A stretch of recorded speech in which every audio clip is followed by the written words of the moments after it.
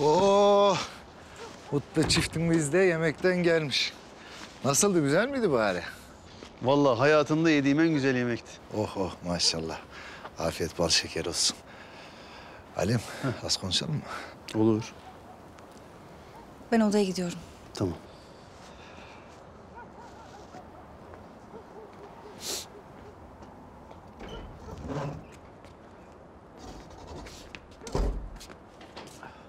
Evet. Seni dinliyorum. Halim, şimdi sana bir şey soracağım. Bu Hamza meselesinde İlyas haber uçuran Mavi'ymiş değil mi?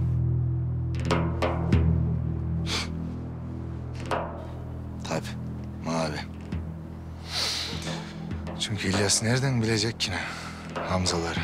Oğlum bak, şimdi sana bir abi olarak birazcık acı konuşacağım. Ama bu kız seni sevmiyor. Doğru. Sevmiyor. Niye sevmiyor biliyor musun?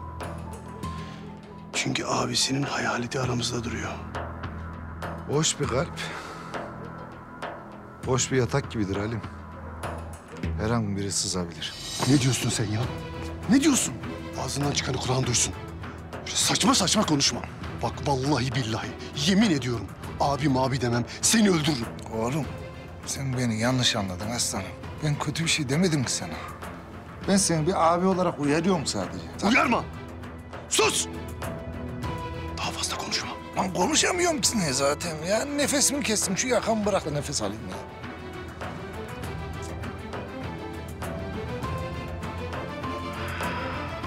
Oğlum. Bak ben Mavi'ye bir suç attım mı? Hayır. Bu kız İstanbul'da büyümüş. Buralara alışkın değil. Şimdi Mavi İlyas'la medenice görüşür. Ama buranın insanı başka anlar. Benim korkum ondan. Bana bak. Sen de beni iyi dinle. Mavi kendini bilir. Mavi kiminle nasıl konuşacağını da bilir.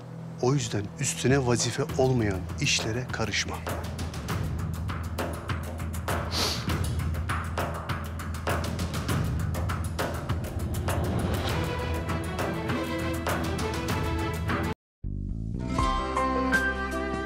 اشتركوا بالقناة لمشاهدة جميع الحلقات ولا تنسوا تفعيل زر الجرس.